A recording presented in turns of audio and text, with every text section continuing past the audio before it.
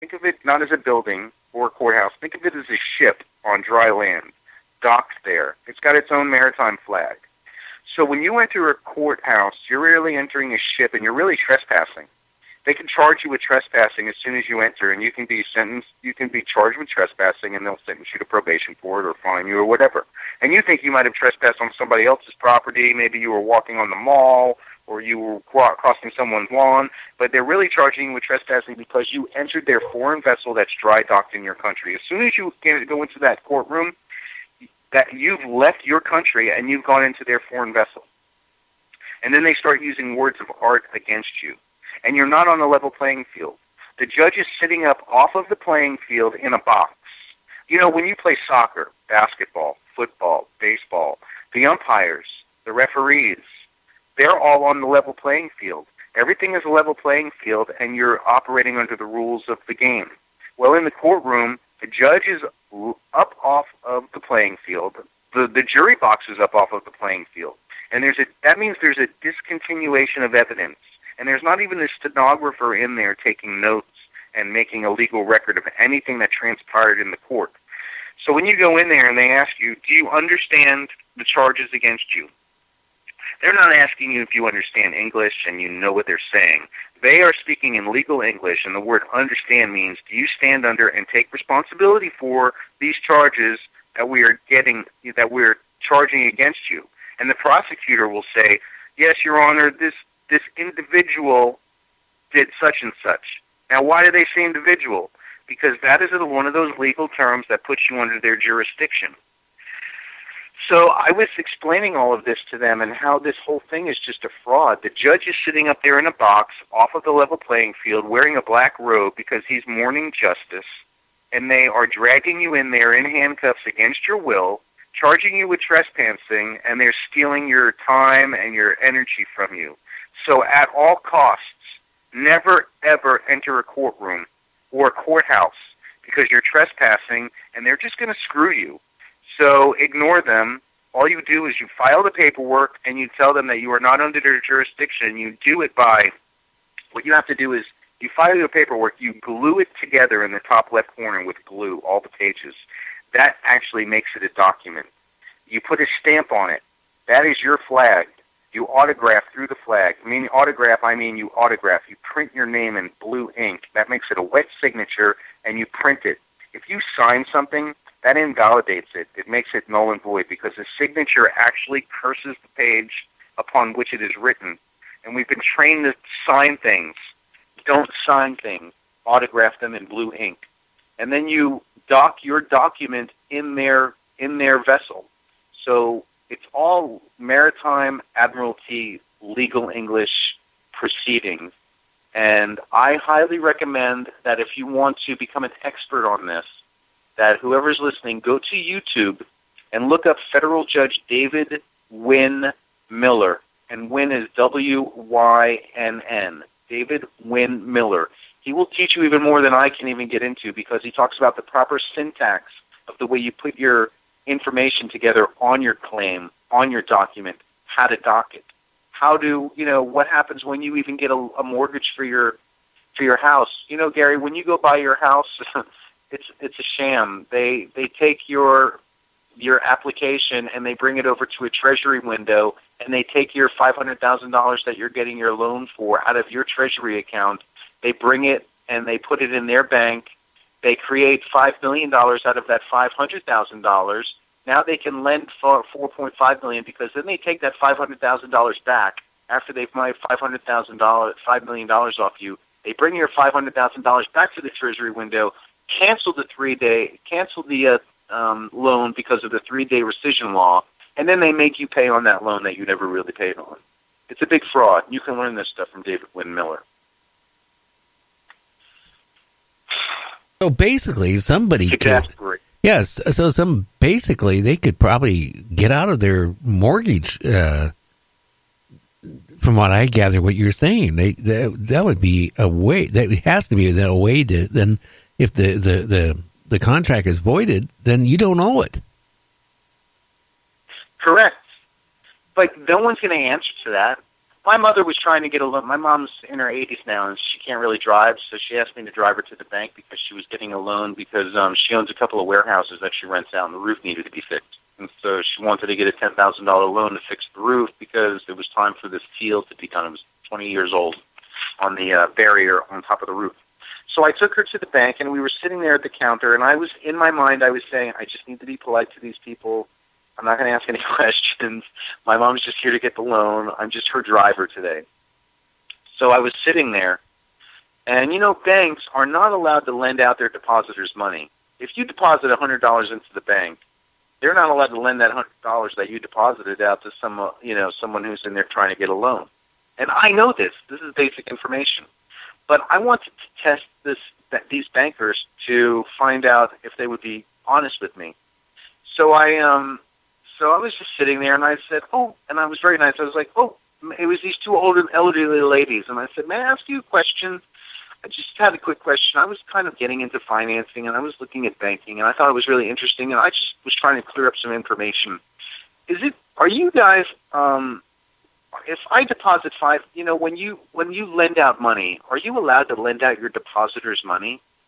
Like, you know, if I deposit five thousand dollars and someone borrows the money from your bank, are, are you yeah, are you allowed to lend out my money to them? And they said, oh, yeah.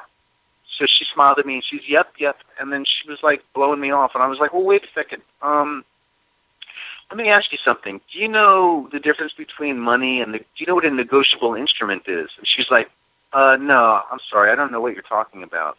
So these are just basic terms I was asking her. I was just testing to see if she was even willing to have a real conversation and divulge any information because I wanted to see how closed and secretive it is. And it is. It's secretive. This happy, nice, elderly lady, dressed very nice, smelling nice, wearing her makeup, perfect hair, designer clothes, Gucci purse, nice pen, is just lying to my face with a smile, a, a, a smile as if she's my best friend and I was so, and I smiled back, and I was like, okay, and I was just seething inside because I wanted to stand up and point my finger at her and tell her, you're a liar. You're part of the problem. I know what's really going on here, but I didn't because I wanted my mom to get the loan. So that's how bad it is at every level. You know, no matter what you do, even when I contacted Pam Bondi, the Attorney General of Florida, and told her this fraud is going on, they have to accept it. It's miscon- It's a felony misconduct in public office. I want to file charges. She said, I refuse to discuss promissory notes with you. I have the email. I will send it to you. I will send it to anybody who emails me. It's it's it's scary. It's ridiculous. Uh, I, I just it's just wicked and criminal and evil, and I'm angry about it. Well, I would be now. Also, last time I you were on the show, you were having problems with a police department over uh, trespassing where you ended up in jail. You uh, whatever happened about yeah, that? I did. Well, I have since then. I submitted my um, case. I put together my legal documents, and I'm still waiting about another two weeks before I contact them because I want to find out when my court date is. What I did was um, I did what I said that I just told you you're listening on to do. When you when you file a claim, you have to bind it properly. You glue it together, you stamp it, and autograph through it. And what happened is, is I understand, you know, that I have the right to remain silent, and I made a movie, a documentary called "True Stories: A Lifetime of UFO Abductions." Um, a good friend of mine who I've known my whole life, who was my baseball coach, he actually manages um, the baseball fields here. He operates the baseball teams, runs the umpire leagues. He's uh, in the Space Coast Baseball Hall of Fame. Uh, he's good friends with like San Francisco Giants head coach Bruce Bochy and or manager. So I interviewed him because he was he told me about having missing time where he had been abducted um, or had missing time, like hours of, of missing time throughout his life, where he had family members see him come away from a spaceship that left their property, and he's had a lot of different things, and and um, and so I kind of believe that there's a joint alien military genetic modification program going on, and that's a different story. So I did an interview with him, and I have a um, it's like a, a hour and a half documentary interview of his situation and what has happened with him, and I have it up on Amazon Prime. It's called True Stories, Episode 2 A Lifetime of Alien Abductions. So I printed out some of those DVDs, and I was at the Augusta Mall in, in Augusta, Georgia, in Richmond County, and I was handing them out, and I was talking to people because there, there's high traffic there. So security came up to me, and they were like, hey, you have to leave. And I said, okay, but, uh, you know, I'm not doing anything wrong. And they were like, well, what's your name? And I said, I don't have to tell you my name. I have the right to remain silent. Um, I, I'm just going to leave.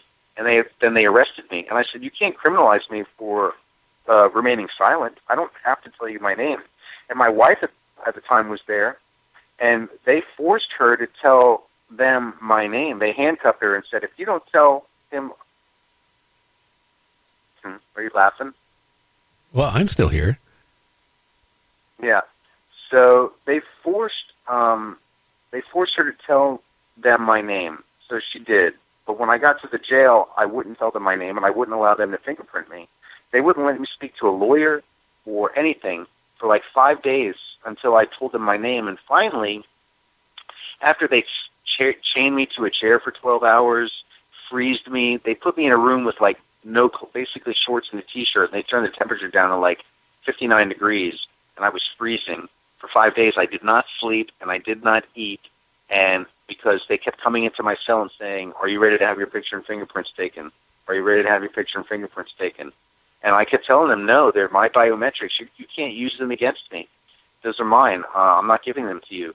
And then they just kept slamming the door in my face. And then, you know, and they kept, and I was pounding on the window, please, I need to talk to a lawyer. I need to speak to a doctor. I'm getting hypothermia.